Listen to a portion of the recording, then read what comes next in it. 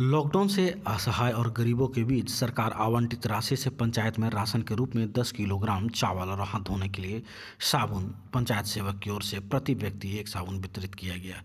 आयोजित वितरण कार्यक्रम डीएलएस के सहयोग से हुआ, जिसमें चौंतीस लोगों के बीच राशन सामग्री का वितरण मुखिया पुतुल मुर्मू के द्वारा किया गया। इस मौके पर मुखिया के अलावे पंचायत सचिव फिरोज अंसारी और पीएलबी विकास प्रसाद शाह मौजूद थे। इसमें कई पहाड़िया समुदाय के लोगों के साथ कैंसर से पीड़ित और दिव्यांग वृद्ध महिलाओं को इसका लाभ दिया गया। यह लाभ ऐसे लोगों को भी मिला जिनका राशन कार्ड नहीं था।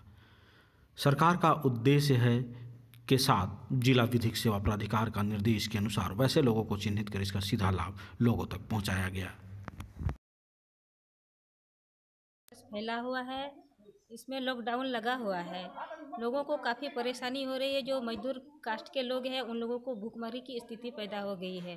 वे काम नहीं कर पाते हैं, इसलिए वो उनके पास खाने का अनाज नहीं है। इसके चलते हम पंचायत से हम लोगों ने दस किलो करके उनको अनाज दिया और उनको कोरोना वायरस में लॉकडाउन का पालन करने के लिए भी सलाह दिया गया।